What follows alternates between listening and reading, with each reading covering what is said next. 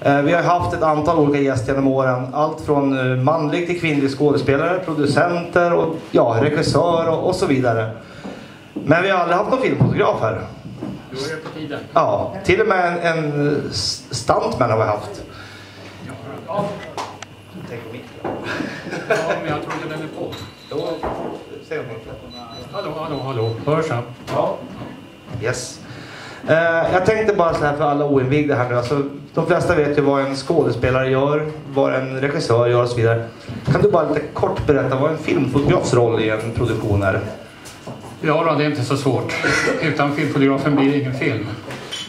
Och eh, i begynnelsen var det ju fotografen. Innan det fanns regissörer som gjorde film så var det fotografen som gjorde filmen. Så enkelt är det. Men eh, som fotograf, många tror ju att fotografen är en som tittar i kameran och trycker på knappen. Och det är väl det minsta av vårt arbete. Det viktigaste är ju att vi skapar filmens visuella uttryck. Och eh, vi också fungerar som ett bollplank till regissören. Regissören och fotografen arbetar ju alltid väldigt intimt ihop.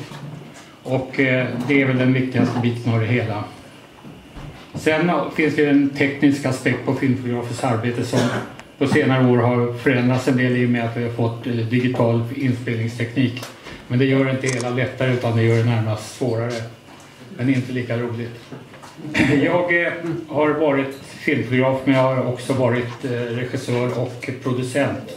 Jag har drivit ett bolag i 20 år med en amerikansk kompanjon som nu bor i södra Frankrike. Det slutade med en katastrof, vi gick i konkurs och sen fortsätter man ju överleva. Men jag betraktar mig själv som en överlevnadskonstnär i den här branschen. Jag har varit yrkesverksam i 60 år, vilket är ganska märkligt. Och jag är lite deppig idag när jag ser de yngre människorna som kommer in i filmbranschen. Man ser vilka dåliga förutsättningar det finns för dem att skapa sig en karriär. Va? In med dem och ut med dem. Och alldeles för mycket utbildning till arbetslöshet och det är tragiskt. Själv började jag ju min karriär, jag var cineast från början. Jag tillbringade ett par år i Frankrike och sen när jag kom hem så började jag som assistent på Europastudio. Det var en av de stora filmbolagen på den tiden. På den tiden fanns det inga skolor utan man lärde sig den långa vägen. Och samtidigt så var jag med och bildade någonting som hette Arbetsgruppen för film eller Svensk experimentfilmstudio tillsammans med Peter Weiss och Öyvind Fahlström och andra. Vi gjorde så kallad konstnärlig film. Det var en stor genre på den tiden och det har nästan helt försvunnit nu. Det kan närmast jämföras med videokonst skulle jag tro. Men i alla fall, jag var på Europafilm i 11 år och eh, det var ju en bra skola men ibland var det lite långsamt. Men jag fick en bra utveckling där. Jag fick ganska snart börja göra eh, reklamfilmer och beställningsfilmer och sådant. Och, eh, jag gjorde några egna filmer som blev framgångsrika. Men sen började ju då Europafilm eh, att tyna bort. Överhuvudtaget hela den svenska filmateljébranschen försvann ju ganska snabbt och det gjorde ju att många av oss inte hade det paraplyt som en filmateljé innebär utan man fick ut och slåss och försöka överleva, överleva i filmbranschen. Och jag märker ju när jag kommer hit och ser den speciella typ av film som intresserar er ganska mycket. Det som min vän Granfors kallar exploateringsfilm. En misskänd men inte helt meningslös genre. Och det är en speciell sak. Om man tittar på de som har varit med och gjort de här filmerna så är många av dem mycket framgångsrika människor idag som säkert gärna inte vill höra talas om att de har varit med i den här branschen. Men det finns väldigt många. Själv har jag aldrig skämts att jag varit med på några av de här filmerna. Men jag har ju också haft glädjen att jobba med mycket stora viktiga filmer. Jag har fotograferat Picassos äventyr, eh, Korpen flyger med Rappen Gunnlaugsson och så vidare. Så, vidare. så det blir många stora filmer. Jag har också arbetat väldigt mycket utomlands. Närmare 20 år av mitt vuxna liv har jag arbetat för utländska bolag i andra länder. Och det, det är en av privilegierna med det här, att man får se sig om i världen. Va?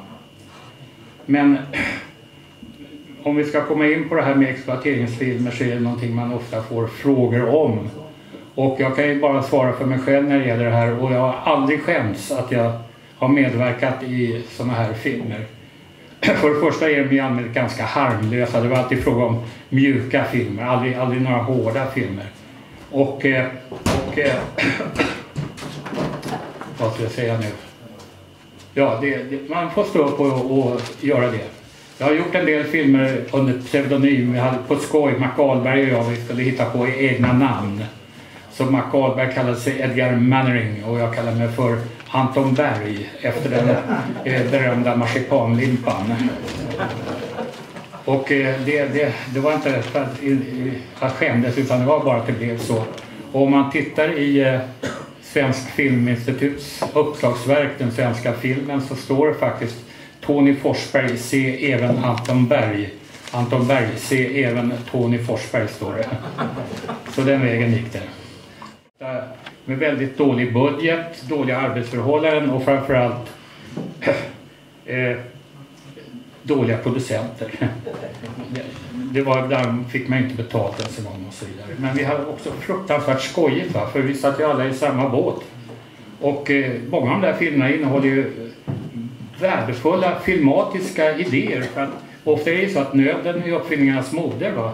Har man gott om pengar då är allt möjligt. Har man ont om pengar då måste man vara lite smartare. Och man säger alltid att en krona som man satsar på filmen ska se ut som två på duken. Va? Och det, det, det, det är viktigt att man har det för ögonen. Och jag har träffat väldigt många trevliga människor i branschen och lärt mig att tycka om dem och visa, alltid känt, haft respekt för dem som är med i den där svängen liksom. Och det finns ju ett par av producenterna finns ju kvar fortfarande. Inge Ivarsson lever fortfarande och så vidare. Han var ju aktuell för, var det förra eller förra, förra året? Han måste ju vara 97, ja, 98 år någonting nu. Jag tror inte han kan. Han är nästan blind. Ja, han var det även när jag pratade med honom. Ja, var ja, väldigt ja. Eh, Men jag ser att ni har bjudit hit eh, till Stig Engström. Ja. Och det är lustigt för att jag har bara gjort en sak med honom men det var en jättegrej. En tio timmar lång tv-serie som vi gjorde för Sveriges Television som heter Öbergs på Lillöga. Den gick i vintras nu igen. Och eh, där gjorde han huvudrollen faktiskt. Men det är enda jag gjort med Stig. Ja. Och ingenting i den andra genren liksom. Ja. Har du också varit med med det här Fan Alexander och... Ja då, han producerade och, den.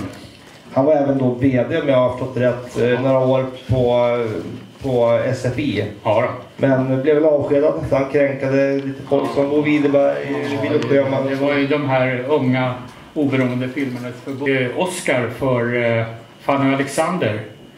Då skulle de ge den till Ingmar Bergman. Men den skulle Jörn Donner ha för det är producenten som ska ha Oscar för bästa film. Så den fick Jörn Donner, så han har den. Ingmar Bergman har ju två ändå. Så att det... Som jag sa, det går ihop lite grann. Vi säger Jörn Donner kan vi... Som ja. inte gillade Jörn Donners attityd. Men jag brukar skryta med, jag har tagit Jörn Donners första film och hans sista film. Den första hette ju eh, En söndag i september med Harriet Andersson som han var gift med då och eh, Tommy Berggren. Och den sista hette Dirty Story med Allan Josefsson som spelar eh, eh, kraftigt erotiskt laddade scener med sin egen dotter. Ja. Det var lite jobbigt och, om man visste deras relation där va? men det gick bra. De var ju proffs de också. Gothic Horror Stories. Det är ju typ Frankenstein då och så vidare. Va? Hammer. Nej, Hammer Productions, det var ju något annat. Va? Ja, absolut. Men det är samma sak. Ja, ja, ja, ja, ja, ja, ja. Kensington Gore. Man kunde, de gjorde ett speciellt filmblod som de kallade för Kensington Gore. som man hade de filmerna. På en entimmes film som skulle handla om eh, Dracula och vampyrmyten. Och det var en ren dokumentärfilm vi gjorde. Men sen såg vi, den blev så enormt uppskattad så vi byggde ut den till en långfilm och då bjöd vi in Christopher Lee och andra skådespelare så vi gjorde dramatiseringar av de här skräckfigurerna. Va? Dracula och så vidare. Och eh, det gick ju rätt bra i alla fall. Men sen fortsatte vi så gjorde jag en film som heter Victor Frankenstein. Och det originella med den var att den följde bokens intrig till 100 procent. Med Per Oscarsson som monstret bland annat. Mm.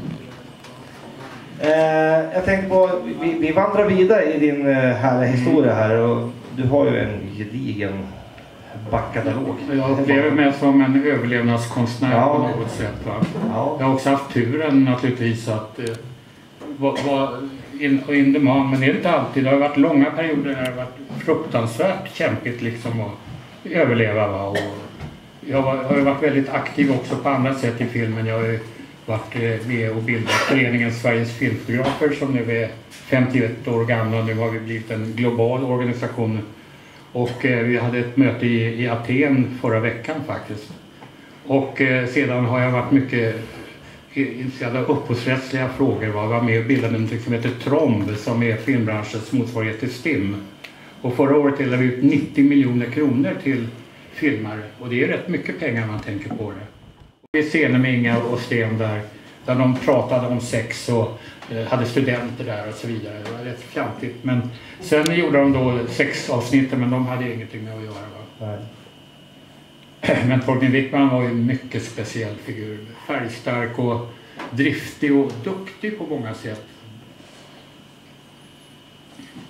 Det låter som ett men här, men nej. Nej, det var ingen men. men Jag känner bara vänta på nästa. Ja, nej då, nej då det, det, ska man inte säga. Han hade väl lite otur till och från. Han hade lite storhetsvansinne, allting som var så stort och pampigt och då blev det ofta lite dåliga affärer hit och dit och så att jag tvingats ibland göra filmer som han inte ville stå för och sådär. Men vi gjorde en film som han själv, nej det var Torbjörn Axelman det, ja. det var en annan historia.